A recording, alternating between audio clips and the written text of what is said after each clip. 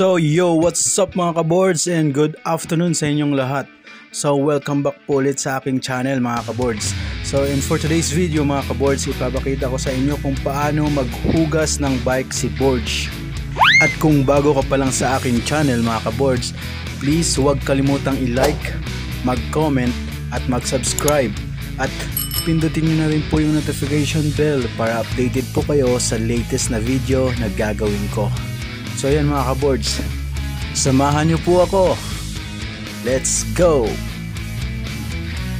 So yan mga kaboards, yung kailangan sa paghugas ng bike ay Joy.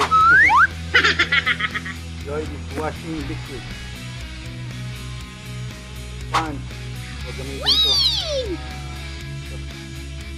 Brush. Sa.